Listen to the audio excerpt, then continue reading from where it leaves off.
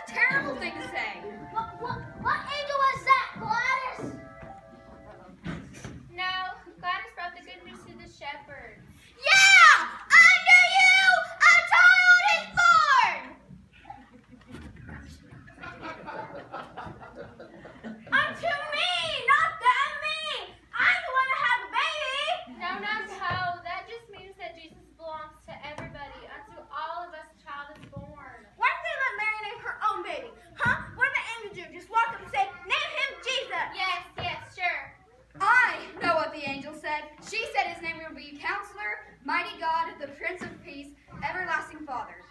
My goodness, you never get out of first grade if you had to write all that. Mrs. Bradley, what should I do? Do you want me to start over? Five minutes